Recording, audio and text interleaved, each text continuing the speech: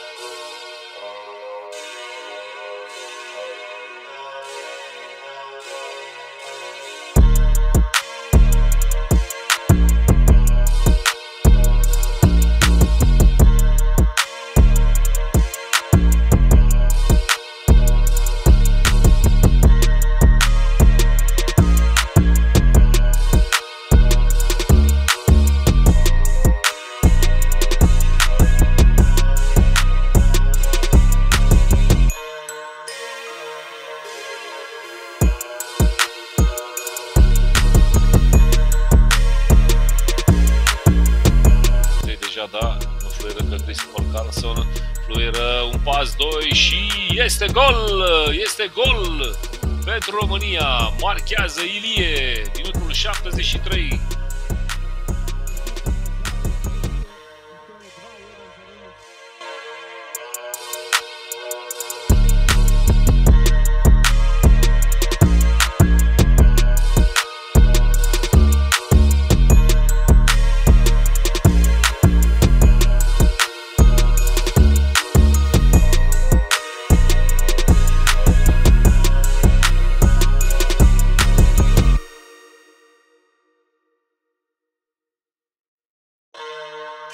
Se uită la ceas suedez, ok, să vă Carlson și fluieră finalul partidei. Victorie pentru România, victorie pentru România 2 la 1, a doua victorie în această grupă, foarte aproape cu o etapă înainte de finalul grupei România de calificarea turneului final.